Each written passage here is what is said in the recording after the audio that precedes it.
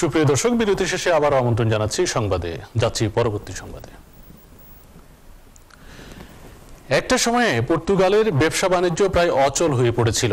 ঠিক সেই সময়ে পর্তুগালে প্রবাসী বাংলাদেশিরা লিসবনের ঘুমন্ত নগরীকে জমজমাট ব্যবসার মধ্য দিয়ে জাগিয়ে তুলেছিল। বিস্তারিত দেখুন শাহ এমি হোসেনের বিশেষ প্রতিবেদনে। পর্তুগালের মূল আয়ের উৎস হচ্ছে পর্যটন ক্ষেত্র। একটা সময় ছিল পর্তুগালের ব্যবসা বাণিজ্য প্রায় অচল হয়ে পড়ে।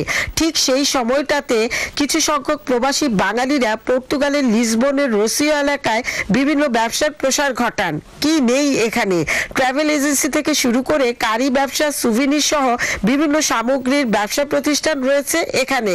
এই সব বিক্রি করে ভালো ব্যবসা সফল হয়েছেন অনেকেই। বিজনেস সেক্টরটা অনেক বেশি অল্প পুঁজিতে আমরা ব্যবসা করতে পারি। যদি গার্মেন্ট সেক্টরটা আমাদেরকে হেল্প করতো একটু দেখতো তাহলে দেখা গেছে অনেক অনেক বড় পরি- পরিসরে আমরা করতে পারি এই জায়গায়। পর্তুগালের সাথে প্রবাসী বাংলাদেশিদের সম্পর্ক ভালো। এ কথাটি জানান পর্তুগালে নিযুক্ত বাংলাদেশের হাই কমিশনার মোহাম্মদ রুহুল আলম সিদ্দিকী। পর্তুগালে বাংলাদেশি যারা আছেন তাদের মধ্যে একটা বড় সংখ্যায় বাংলাদেশিরা সুভেনির শপ প্রভিশন শপ চালায়, যেখানে বাংলাদেশ থেকে প্রচুর সামগ্রী আসে।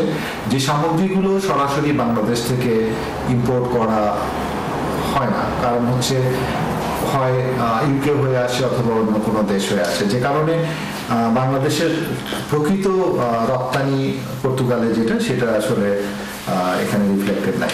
আমাদের দূতাবাস থেকে আমরা বিভিন্ন দিকে পর্তুগালের সাথে সম্পর্ক উন্নয়নের জন্য বিভিন্ন পদক্ষেপ নিয়েছি। পর্তুগালের ঘুমন্ত শহরকে প্রবাসী বাঙালিরা জাগিয়ে তুলেছেন জমজমাট ব্যবসা বাণিজ্যের মধ্য দিয়ে। আমাদের বাংলাদেশ সরকার যদি একটু সুনজর দেয় তাহলে আমরা যারা বাঙালিরা ইউরোপে ব্যবসা করতেছি খুব ভালো অবস্থায় যাব। যদি সরকার সুনজর দেয় তাহলে খুব আরও ভালো পর্যায়ে আমরা যেতে পারব। কারণ আমরা প্রোডাক্টটা যদি দেশ থেকে পাই তাহলে আমাদের জন্য একটা বিশাল সাপোর্ট আমরা যদি বাংলাদেশের সরকারের সহযোগিতা পাই বাংলাদেশ বিশেষ করে যে হ্যান্ডিক্রাফটগুলো আছে আমাদের দেশের পাট শিল্প তারপরে আরও অন্য ধরনের এগুলো যদি আমরা আনতে পারি, তাহলে সহযোগিতা পেলে আমরা আরও ভালো কিছু করতে পারব, ইনশাআল্লাহ। পর্তুগালের লিসবনে হাজার হাজার প্রবাসী বাঙালিরা বসবাস করেন। তারা এখানে ব্যবসা বাণিজ্য করে খাচ্ছেন। এই প্রবাসী ব্যবসায়ীরা মনে করেন যদি বাংলাদেশ সরকার তাদের বিষয়ে একটু দৃষ্টি আকর্ষণ করে, তাহলে অদূর ভবিষ্যতে বাংলাদেশি প্রোডাক্টে প্রসার ঘটাতে পারতেন এই লিসবনে। Shah M Channel I, Portugal, Lisbon. তেসরা নভেম্বর জেল হত্যা দিবস উপলক্ষে ওয়েস্ট লন্ডন আওয়ামী লীগের উদ্যোগে শুক্রবার ওয়েস্ট লন্ডনের স্থানীয় একটি হলে আলোচনা সভা অনুষ্ঠিত হয়েছে। আমাদের বিশেষ প্রতিনিধি ফজলুল হক জানান, মুক্তিযুদ্ধের অন্যতম সংগঠক এবং ওয়েস্ট লন্ডন আওয়ামী লীগের সভাপতি আলহাজ ওস্তার আলীর সভাপতিত্বে এবং ওয়েস্ট লন্ডন আওয়ামী লীগের সহসভাপতি শহীদুর রহমানের পরিচালনায় সভায় প্রধান অতিথি হিসেবে উপস্থিত ছিলেন যুক্তরাজ্য আওয়ামী লীগের সাংগঠনিক সম্পাদক আব্দুল আহাদ চৌধুরী। অন্যান্যদের মধ্যে আরও বক্তব্য রাখেন সহসভাপতি তারাউল ইসলাম, আশরাফ উদ্দিন, আব্দুল মতলিব, আব্দুল হাফিজ বক্কর, কবির মিয়া, ইউনুস মিয়া, নজরুল ইসলাম, শাহিন আহমেদ চৌধুরী, সাইয়েদ মিয়া কাজল সহ আরও অনেকে। সভায় সভাপতি, সভাপতির স্বাগত বক্তব্যের মাধ্যমে জাতির, জাতীয় চার নেতা সৈয়দ নজরুল ইসলাম, তাজউদ্দিন আহমেদ, এম মনসুর আলী ও এইচ এম কামরুজ্জামান এবং বঙ্গবন্ধুর পরিবার সহ সকল শহীদদের স্মৃতির প্রতি গভীর শ্রদ্ধা জানিয়ে এক মিনিট নিরাপত্তা পালন করা হয়। বক্তারা বলেন বঙ্গবন্ধুকে নৃশংসভাবে হত্যার পর সদ্য স্বাধীন দেশকে নেতৃত্ব শূন্য করার ষড়যন্ত্রের অংশ হিসেবে ঢাকা কেন্দ্রীয় কারাগারে স্বাধীনতা বিরোধী শক্তি জাতীয় চার নেতাকে নির্মমভাবে হত্যা করে। এই নির্মম হত্যার বিচারের দাবিতে যুক্তরাজ্য আওয়ামী লীগ ওয়েস্ট লন্ডন শাখার সকল নেতাকর্মীকে ঐক্যবদ্ধ হয়ে কাজ করার আহ্বান জানান। সবশেষে জাতীয় চার নেতা বঙ্গবন্ধু পরিবার সহ রোহিঙ্গাদের সাহায্যের পর সিলেটের বিয়ানীবাজারে ফেরার পথে নিহত ছয় জনের রুহের মাগফেরাত কামনা করে বিশেষ মুনাজাত করা হয়। সিলেটের খবর। হবিগঞ্জের বাহুবল উপজেলার পুটিজুরি ইউনিয়নের যাদবপুর গ্রামে দুই গ্রুপের রক্তক্ষয়ী সংঘর্ষের ঘটনায় আইনু উল্লাহ নামের এক বৃদ্ধ নিহত হয়েছেন। পুলিশ জানায় দীর্ঘদিন ধরে জায়গা সম্পত্তি চাচা ভাতিজার মধ্যে মধ্যে নিয়ে বিরোধ চলে আসছিল। এরই জের ধরে শুক্রবার সকালে উভয় পক্ষের লোকজন দেশীয় অস্ত্রশস্ত্র নিয়ে সংঘর্ষে জড়িয়ে পড়ে। সংঘর্ষে আহত হন আইনু উল্লাহ পরে তাকে বাহুবল স্বাস্থ্য কমপ্লেক্সে নিয়ে গেলে কর্তব্যরত চিকিৎসক আইনুউল্লাহকে মৃত ঘোষণা করেন। ময়নাতদন্তের আগে এই মৃত্যু নিয়ে কোনো মন্তব্য করতে রাজি হয়নি পুলিশ। আন্তর্জাতিক সংবাদ।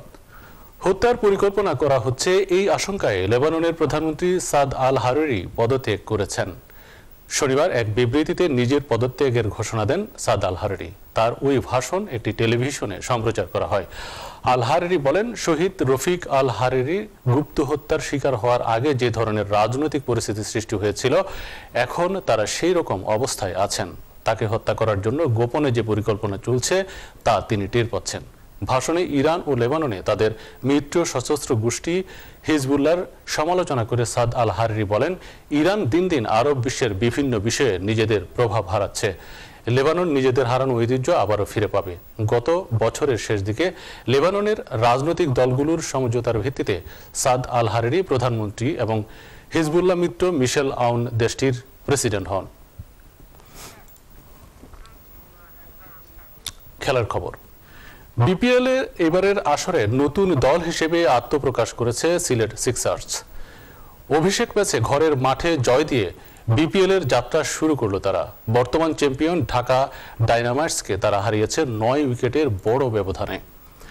কাগজে কলমে ঢাকার যে শক্তিমত্তা মাঠে তার ছিটে ফোটাও দেখাতে পারেনি তারকা খচিত দলটি। সহজ লক্ষ্য তারা করতে নেমে মোটেও ব্যাট পেতে হয়নি সিলেটকে। দুই ওপেনার উপল থারাঙ্গা এবং আন্দ্রে ফ্লেচারের অর্ধ শতকে সহজেই পৌঁছে যায় জয়ের বন্দরে। আদিল রশিদের বলে ক্যাচ দেওয়ার আগে ফ্লেচার করেন তেষট্টি রান। থারাঙ্গা আটষট্টি এবং সাব্বির রহমান অপরাজিত থাকেন দুই রানে। সিলেট আন্তর্জাতিক ক্রিকেট স্টেডিয়ামে শুরুতে টস জিতে ফিল্ডিংয়ের সিদ্ধান্ত নেন সিলেট অধিনায়ক নাসির হোসেন। বল তুলে নেন অধিনায়ক নিজেই প্রথম ওভারেই এনে দেন বেক থ্রু শূন্য রানে ফেরান মেহেদি মারুফকে। এরপর কুমার সাঙ্গারাকারার সঙ্গে জুটি বেঁধে প্রাথমিক ধাক্কা সামালতেন আরেক ওপেনার এভিন লুইস। দলীয় ছাপ্পান্ন রানের সময় নাসিরের দ্বিতীয় শিকারে পরিণত হন লুইস। এরপর নিয়মিত বিরতিতে উইকেট পড়েছে অপরদিকে স্লথ হয়েছে রানের চাকা। শেষ পর্যন্ত বিশ ওভারে সাত উইকেট হারিয়ে একশো ছত্রিশ রান তোলে ঢাকা। নাসিরের সঙ্গে দুইটি করে উইকেট নেন আবুল হাসান এবং লিয়াম প্রাঙ্কেট।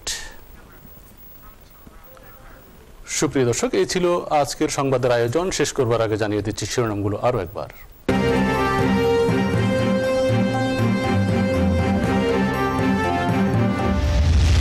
যৌন হয়রানি এবং অসদাচরণের অভিযোগ উত্তাল হয়ে উঠছে ব্রিটেনের রাজনীতি। বিশেষ শ্রেণীকে হয়রানি করতে পারে বলে আশঙ্কা।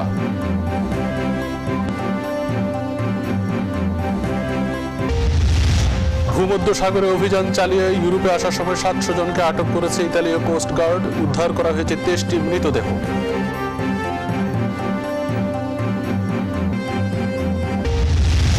এখনও হাসপাতালে আশঙ্কাজনক অবস্থায় এসিড আক্রমণের শিকার বাঙালি যুবক নাসিদ কোমা থেকে কবে ফিরবেন বলতে পারছেন না চিকিৎসকরা।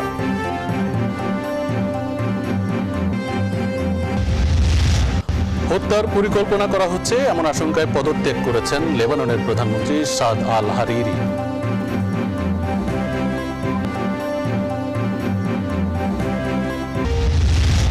এবং বিপিএল এর পঞ্চম আসরের উদ্বোধনী ম্যাচে শনিবার ঢাকা ডায়নামাইটসকে নয় উইকেটে হারিয়েছে সিলেট সিক্সার্স।